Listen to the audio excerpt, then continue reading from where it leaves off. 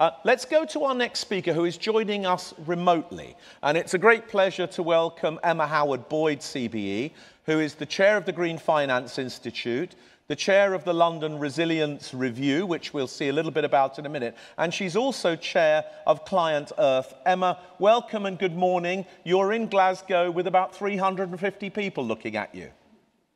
Good morning, Glasgow. Great to be here in a remote virtual way. It's lovely to see you, Emma. We're going to firstly see an excerpt of a recent interview with you on the BBC where you presented the London Climate Resilience Review. And then we're going to have a conversation with you about that. And then you and James are going to share a Q&A together, if that's okay. So could we first see um, the BBC film, please? Now, a new report has found that rising sea levels, flooding, heat waves and drought are just some of the potentially lethal risks identified in a study into how resilient London is against climate change. Overall, the review commissioned by Mayor Sadiq Khan found the capital is underprepared for the impact of our changing climate. As our correspondent Karl Mercer reports, it's something that we've already experienced relatively recently. Tonight on BBC London, a month's worth of rain falls in London in just one day. These are the moments filmed from a mobile phone when houses in Wennington go up in flames.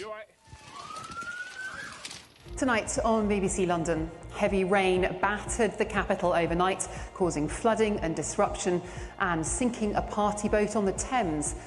The last couple of years have seen climate change in all its forms in London. Floods hit in the summer of 21 some areas getting twice the July rainfall in just two hours.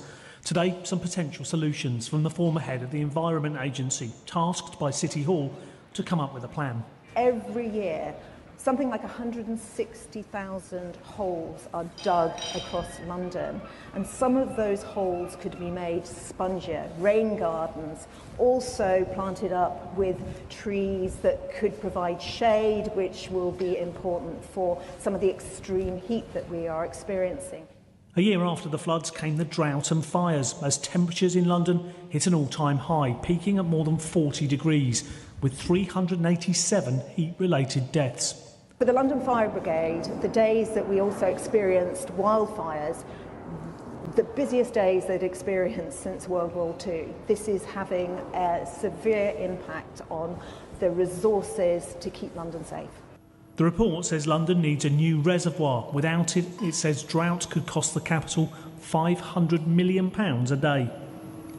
And work will need to be done on the Thames too, a new barrier by 2070, and improvements along the river with levels set to rise by more than a metre by the end of the century. The embankments this side of the barrier need to be raised by 2050. That's 15 years ahead of what was previously thought. Some over 100 kilometres worth of embankments, and only 7% of that is ready today. The report describes what it calls a lethal risk to vulnerable Londoners and calls for urgent action. We're underprepared, but we still have time if we act with pace and start delivering on the reasonable steps that we can take to get prepared. Karl Mercer, BBC London. Emma, thank you very much indeed. We've, we've watched the BBC film. Uh, hopefully, we've still got Emma there. I can't see her on the screen. If we could bring her back, that would be good. I want to check that. Uh, Emma, you're back with us. We've watched the film. Paul, I can hear you loud and clear. Great. And I, I suppose the first question is what do you see as being the importance of the London Climate Resilience Review? And is it just about London or does it also apply to other British cities? The London Climate Resilience Review, and I'll be publishing the final report at the beginning of next month, is critical not just for London, but other cities around the world. And I certainly looked at Glasgow as one of the other cities that has done a lot of work in this area. Why I was keen to show the footage from BBC London was that that was the coldest day of January this year in London. The journalists I spoke to didn't question for a minute why I was talking about the full range of climate impacts, including extreme heat. Every day since that interim report was launched, we have seen a major event take place around the world. So, some of the things that we are recommending, not just for the Mayor of London, the businesses across London, but also national government, are relevant to cities, not just in the UK, but also around the world. And it is at that city level that we have a massive opportunity to understand what others are doing in this area so that we can move at pace alongside all of the work that we need to do to reduce our emissions that James and others already this morning have so eloquently touched on. Again, I was really keen to show the video because it shows from start to finish the lived experience of our changing climate. This is real, this is happening, and we need to make sure that as we invest in this opportunity, our investments are ready for the climate change that we know is locked in, and the scientists are telling us is getting worse. Great. Emma, thank you very much. If I may, I'm going to ask you three more questions, and then we're going to hand over to questions from the audience for you and James. So the first one is really how do you see resilience in this regard as an opportunity for business leadership? What's the role of business that you'd like to identify? The need to prepare for climate risks affects us all. And we are part of a massive system that needs to get ready for the future. And there is no doubt that to date, much of the investment that has taken place around adaptation and resilience be, has been led by the public sector. We are now at point where we need to both encourage green finance to look at adaptation and resilience measures, but also for individual businesses to be thinking about where they're operating, the people, their employees, the communities they are working with, and making sure all of that work is ready for climate change. I think typically we have looked at adaptation and resilience, indeed, many environmental and climate change related things in a separate silo. There is no doubt that we have to bring this all together. And I see that word that came to the fore in your word cloud, innovation, as being something that we need to be thinking about right now. I've been talking about some of the major sporting and cultural events that are taking place in Europe, uh, whether it's the Olympics this summer. All of that generates uh, not just the sporting events, but the knock on opportunities around tourism. We need to be thinking about how we're ready for extreme heat. Another series of events that's taking place this summer across Europe are the Taylor Swift concerts.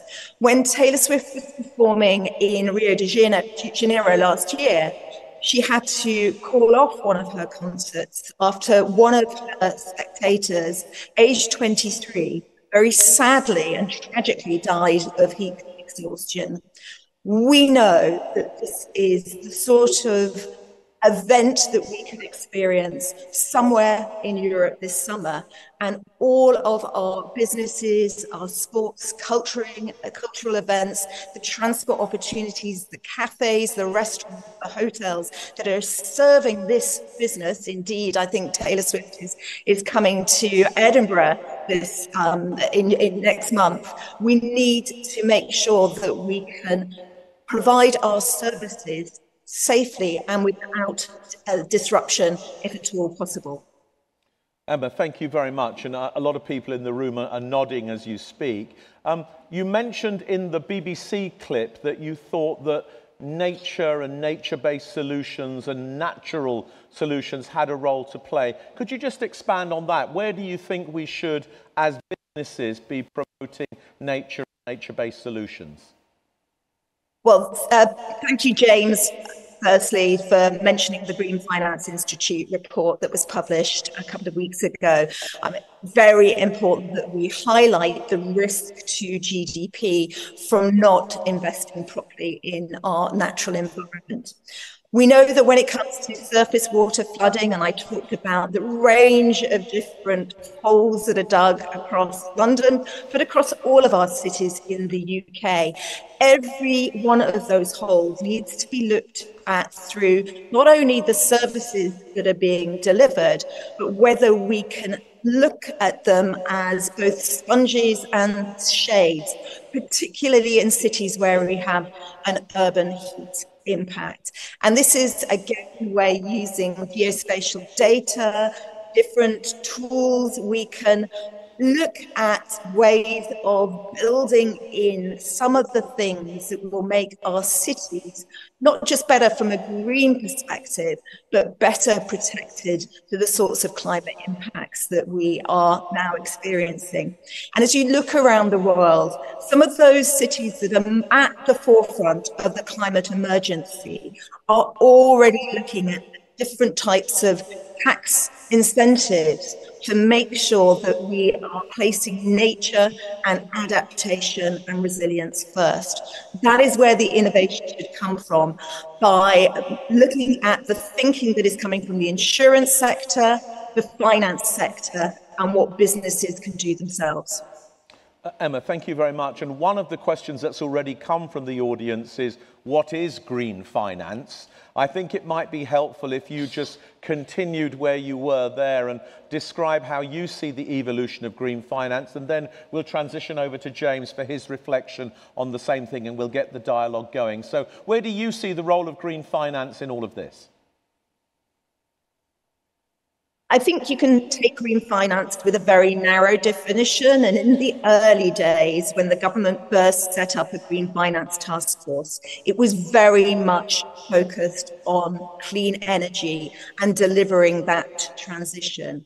I think the more that we have looked at the range of different opportunities that exist from a green finance perspective, we've understood that we need to uh, look at this through a sector by sector basis, looking at what is the most relevant financial product. So it might be green mortgages when we're looking at our houses, we are looking at retrofit.